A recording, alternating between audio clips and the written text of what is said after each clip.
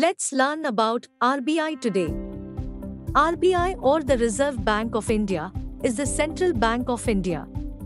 It is located in Mumbai. The Reserve Bank is governed by Central Board of Directors appointed by the national government.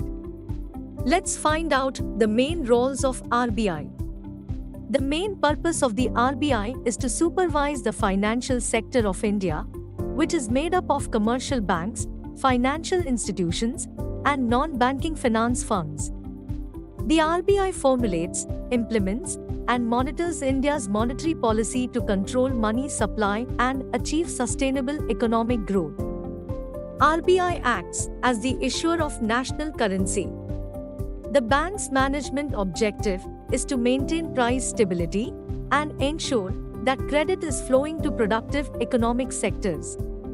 The RBI also manages all foreign exchange under the Foreign Exchange Management Act of 1999. This act allows the RBI to facilitate external trade and payments to promote the development and health of the foreign exchange market in India.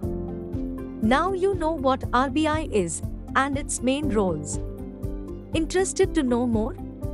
Keep watching. Like, share, and subscribe, Young Investor, to learn about new rules of money for the new generation.